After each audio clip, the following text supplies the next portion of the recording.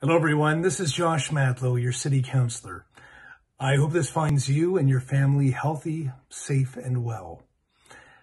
Today, we commemorate 200 years of Greek independence.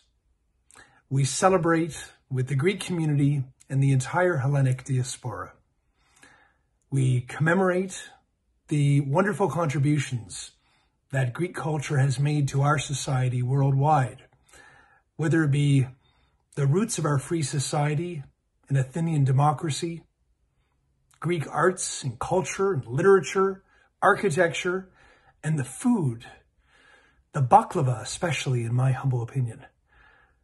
We celebrate all things Greek, and I'm here to celebrate you.